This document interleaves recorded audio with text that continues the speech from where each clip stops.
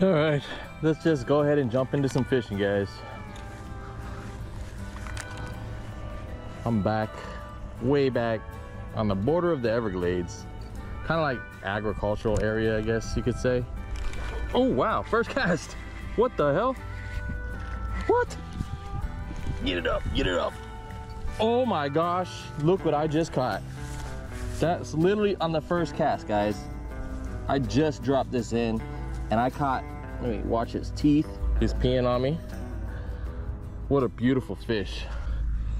Just smoked that lure. Wow, I was just literally just turned on the camera too. So you know what? I've walked far enough. Let me uh let me film. Look at this beautiful jaguar cichlid, guys. Whoop! Dropped them. They got some teeth, so I don't like to grab them in the mouth. Look at that. Beautiful jag. Beautiful jag. That was awesome. First cast of the day, jaguar cichlid. That only means one thing. There's fish in this canal. So I picked a good place to pull over and, and walk. So now, let's see if there's another fish. Booyah. Shout out to uh, the Reel Hooker Bait and Tackle, Nines Optics, right here, and uh, Livingston Lures. Well, that was a very unexpected catch for me. Like, uh, I was just casting to start the day, you know? And uh, boom, got smacked. What's crazy is walking up here, I actually haven't even seen a fish. That's the first fish I've seen just walking around. Before I continue with this fishing session, let's fast forward one day to my snakehead adventure. What's up, fish gang? Welcome back to another episode of CEO Fishing. That's Catch Everything Outdoors. And that's exactly what we're doing today. We are going to catch some snakeheads. At least I'm targeting snakeheads. I've got a brand new KastKing MG12. It is right now probably one of my favorite, favorite reels. And it's on my Savage Gear rod with the Livingston Frog, which makes noise underwater. So uh, let's see if we can put this combo together, put to use, and catch some fish. Let's start off the day by commenting Fish Gang in the comments. That way I can heart your comment and I know who's watching. But without any further ado, guys, let's get into the episode. I literally just took this out of the box and, and spooled it up. So I do not have it dialed in quite yet, but uh, we'll get it we'll get it going as we uh, get through the day. I like to cast across. That is a little too fast for me. A little bit of backlash. Let me get, all right, I think we're good. I think we're good. Get that little chunk of chish off of here. I think I'm ready, man. Let's uh, let's put this to use. And we are in business. There's actually a snakehead following me right now. Oh my gosh. He's following, he's following. He turned around. Let me go here and see if we can get a top water. I do want to try for that peacock, so I brought a secondary setup here. It is also another MG12 with uh, another Savage Gear rod, but I got my little swim bait. I don't know where either one of them went. No! So things started off really fast. Literally my first couple casts, I already got chilled by a snake snakehead. I just didn't initiate the uh, the hit. I just was working the lure a little too slow. But uh, I saw a giant peacock swim by as well, so I decided to throw the swim bait. Um, and now they're both gone. So I'll see you back in a minute when I find some more fish. That is a koi. Swimming free in the canal, and that's an expensive koi. It's not just like some cheap little little fish right there. So uh, pretty cool find.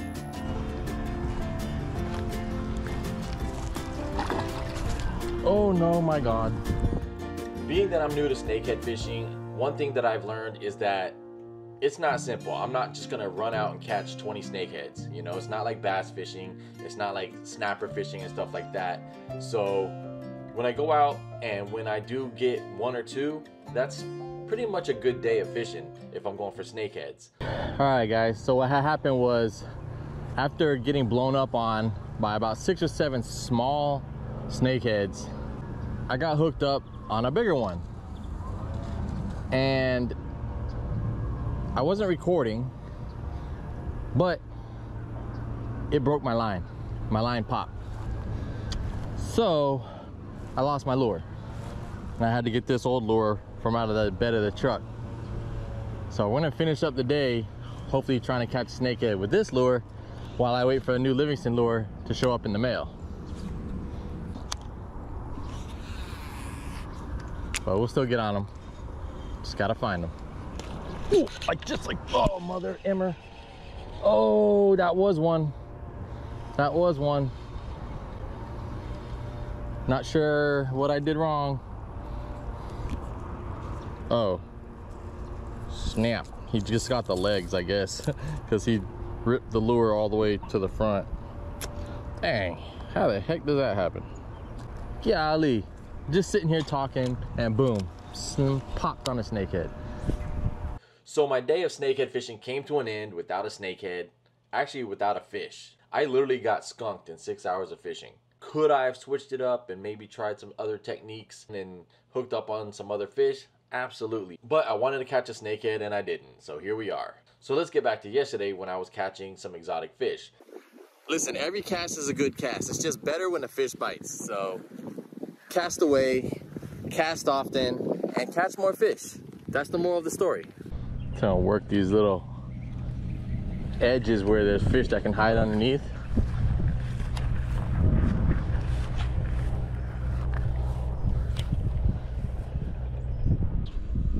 I don't get to catch jags too often, so it's always nice when I do see one. Typically I'm going for peacocks or snook or tarpon or something. So that was definitely a cool catch. Now I feel like every every cast I should get smacked, but this is fishing, not catching. So I can't I can't expect too much.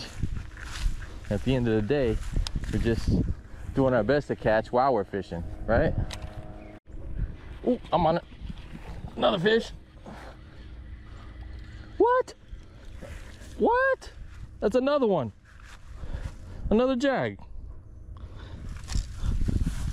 Today's Jaguar day. Let me show you something about these beauties. You see in there? They got little teeth. They got some teeth, but man, check out Jaguar number two. Look at the look at the front right there. That's why I don't lip these guys because they got some teeths. Beautiful, beautiful fish again. Let's go. And now I've just been casting like up underneath right there and letting it fall on the other side. And they're hitting it on the drop. I mean, that, that cast was immediate. I know I wasn't recording, but the second it hit the water, that thing got smacked. I guess the jags are out today. Kind of fishing it like I'm like I snakehead fish. Cast to the other side. Let it go off the edge. Oddly enough, I have not seen any peacock bass, which is what I actually came here for.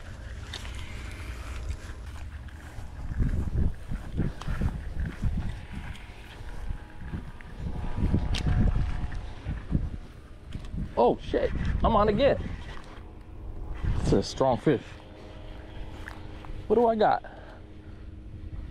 This time, I got a tiger Oscar. Now, it's a tiger Oscar. Chill, buddy. Chill. I'm gonna show how pretty you are. Is, a lot of people call these aquarium fish, pet fish, you know? I just call it an invasive fish and a fun fish to catch. Look at that spot, kind of like on a peacock bass. Look at that.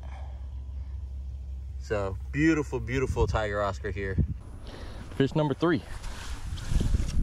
Just walking.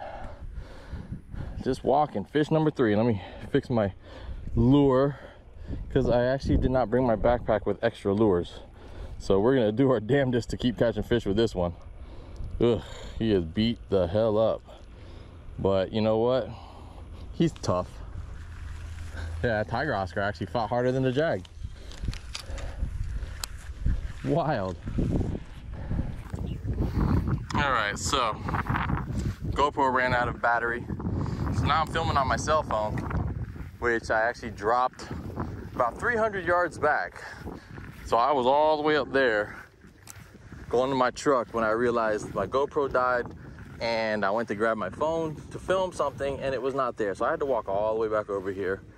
So right now I literally have my GoPro leaning between my chest mount and the GoPro mount. Like leaning between the GoPro and my body on the chest mount.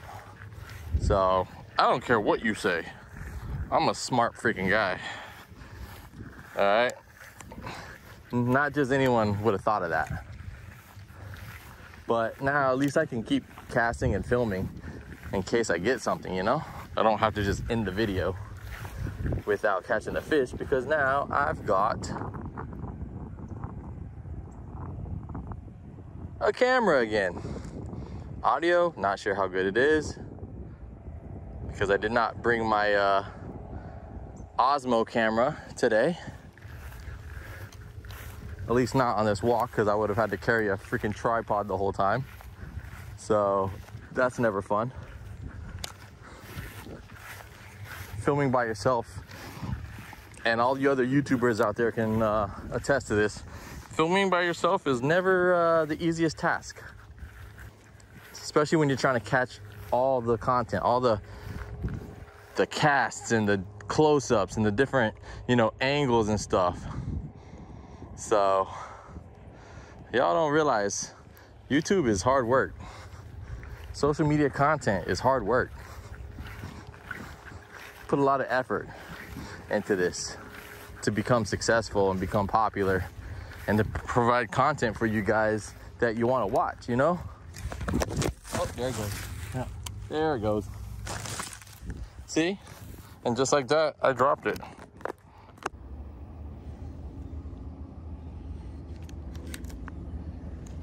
Another one. Another one. Oh, this time I finally got the trifecta. Yeah. Almost. Oh, got my phone. It's okay. I can pick it back up. Look at that. Beautiful peacock bass on the lure. Let's go. I got the trifecta. That's what I'm talking about. I'm just bouncing it near the bottom. That's all I'm doing letting it drop on the far ledge, kind of working it along the bottom. Let the tail do its thing on that little swim bait, and that's it. That is it. I do see a fish across the canal right there. More than likely, it's just like a tilapia or something. But let's see.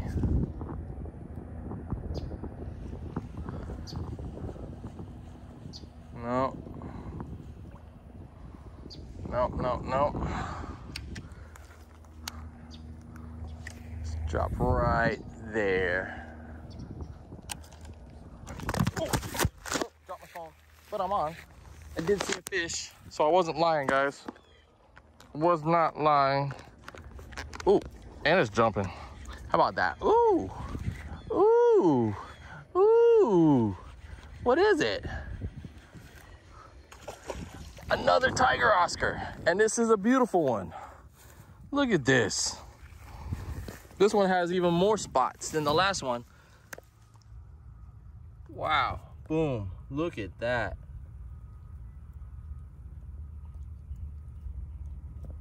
I knew I saw something across the canal. I knew I saw something. But man, beautiful, beautiful fish. Give this video a thumbs up. If you like the Fish Gang shirt and you want to support the channel, go to ceofishing.com where you can buy a Fish Gang shirt right now. You can even buy Florida hats, and I have a variety of other t-shirts that you can purchase. But more importantly, if you like fishing in the outdoors, make sure you hit subscribe and turn your notification bell on right now. The important thing is not just subscribing, but you have to hit that notification bell. Otherwise, regardless of subscribing to the channel, they will not put my videos on your feed. So guys, until next time, keep your head up, keep moving forward, and tight lines. Zzz.